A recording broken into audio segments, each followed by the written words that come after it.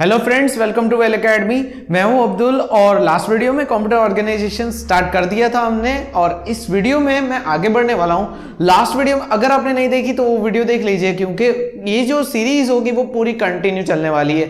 So last video में मैं stop किया था इंस्ट्रक्शन पे। सो so, इस वीडियो में प्रॉपरली इंस्ट्रक्शन के बारे में बात करने वाले ये स्ट्रक्चर मैं एक्सप्लेन कर चुका हूँ कि मेमोरी में से रजिस्टर रजिस्टर में से ए ना अगर सिंपल वे में बात करें तो हम जो भी प्रोग्राम लिखते हैं अगर आपने अभी तक प्रोग्राम लिखे हुए हैं तो इंस्ट्रक्शन के प्रोग्राम्स कुछ इस तरह से होते हैं। हम लाइन बाय लाइन इंस्ट्रक्शन लिखते हैं।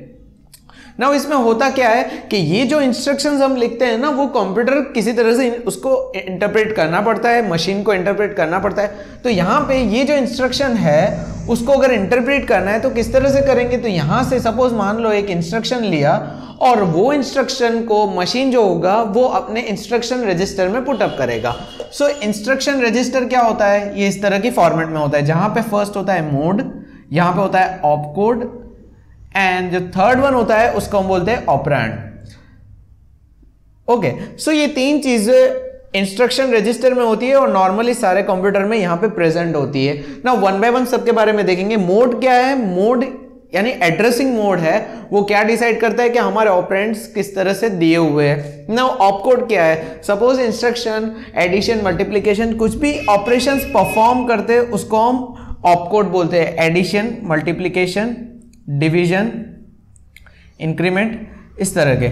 ओके सो ये ऑप कोड है। अब जब ऑपरेंड की बात करते हैं तो ऑपरेंड मतलब क्या है? अगर मुझे दो नंबर का प्लस करना है, जैसे टू प्लस थ्री करना है तो ये जो प्लस है, वो प्लस क्या है? ऑप कोड है। और टू और थ्री क्या है? ये मेरे ऑपरेंड है। नाउ ऑपरेंड अलग अलग तरह के होते हैं, लेकिन उससे पहले मैं आपको बता दूँ, ये जो ऑपरेंड होते हैं ना वो मेमोरी में से लिए जाते हैं। जैसा कि मैंने लास्ट टाइम आपको बताया था कि डायरेक्टली हम मेमोरी एक्सेस नहीं करते हम मेमोरी में से सपोज़ यहाँ से मुझे वैल्यू लेनी है तो मैं इसका एड्रेस ले लूँगा रजिस्टर के अंदर और रजिस्टर में से मैं ए में ले लूँगा।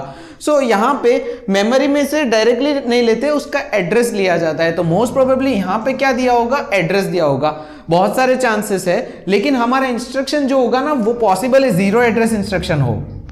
या फिर वन एड्रेस इंस्ट्रक्शन हो या फिर टू एड्रेस इंस्ट्रक्शन हो। अगर मैं बात करूँ तो यहाँ पे अगर हम लिखते हैं इंस्ट्रक्शन एड ए तो ये एड ए का मतलब क्या है? ये वन एड्रेस इंस्ट्रक्शन है क्योंकि यहाँ पे एक एड्रेस दिया हुआ है। जबकि अगर हम बात करें आईएनसी इंक्रीमेंट एक्यूमुलेटर तो ये क्या है? ज़ीरो एड्रेस इंस्ट्रक्शन है क्योंकि यहाँ पे कोई एड्रेस दिया ही नहीं है डायरेक्टली इंस्ट्रक्शन परफॉर्म करना है। सो so, यहाँ पे zero address instruction one address और टू एड्रेस नाउ ये जो ऑपरेंड है ना उसका एड्रेस क्या है? यहाँ पे बहुत सारी पॉसिबिलिटी अगर ज़ीरो एड्रेस है दैट मीन्स एड्रेस की कोई चिंता ही नहीं है। सो so, आराम से ये एग्जीक्यूट कर सकते हैं। लेकिन जब अगर वन एड्रेस है या फिर किसी एक एक से ज़्यादा एड्रेस है तो यहाँ पे चेक करना पड़ता है कि कौन से मोड में है। कौन सा एड्रेसिंग मोड यहाँ पे यूज़ किया जाता है। वाई बिकॉज़ बहुत सारी पॉसिबिलिटीज है। कभी कभी क्या दिया होगा? डायरेक्टली आपको मेमोरी का एड्रेस दे दिया गया होगा। कभी कभी रजिस्टर का एड्रेस दे दिया गया होगा और कभी ऐसा एड्रेस दिया गया होगा जो एड्रेस बताता है कि हमारा मेमोरी का एड्रेस मेमोरी में कहाँ पे है। यानी कि अगर आप बोलो तो ये जो एड्रेस जिसकी मैं बात कर रहा हूँ डायरेक्टली हम एक्सेस करते हैं मेमोरी से तो वो क्या है? मेमोरी का एड्रेस है। तो एक ये पॉसिबिलिटी होगी। दूसरी पॉसिबिलिटी क्या होगी? एड्रेस ऑफ़ रजिस्टर अगर रजिस्टर में है तो। तीसरी पॉसिबिलिटी क्या होगी? एड्रेस उसका दिया होगा जहाँ पे इसका एड्रेस दिया हुआ है। मतलब एड्रेस ऐसा एड्रेस दिया होगा जहाँ पे मेमोरी का एड्रेस दिया होगा। सो so, यहाँ पे ये जो डबल पॉइंटर का थोड़ा बहुत डबल जैसा हो जाता है मुझे वहाँ का एड्रेस दिया होगा जहाँ पे वो एड्रेस एग्जैक्टली प्रेजेंट है ओके एड्रेस ऑफ़ मेमोरी उसका एड्रेस दिया होगा। सो so, ये थोड़ा बहुत कंफ्यूजिंग जैसा लगता है लेकिन कुछ एग्ज़ाम्पल सॉल्व करेंगे तो पता चल जाएगा। नाउ ये है एड्रेस अगर एड्रेस इंस्ट्रक्शन है वन एड्रेस है टू एड्रेस है तो आपको मोड पता होना चाहिए। सो so, इसीलिए ये जो कंसेप्ट है ना हम डायरेक्टली डिज़ाइनिंग पे नहीं जाएँगे। सो so, हम कहाँ से स्टार्ट करेंगे? हम स्टार्ट करेंगे मेमोरी मोड ऑफ़ एड्रेसिंग से। सो नेक्स्ट वीडियो से मैं स्टार्ट करने वाला हूँ एड्रेसिंग मोड से। लेकिन थोड़ा बहुत आपको मैं रजिस्टर के बारे में बता दूँगा क्योंकि रजिस्टर का पार्ट अभी तक लिया नहीं है। सो डायरेक्टली एड्रेसिंग मोड नहीं जाएँगे।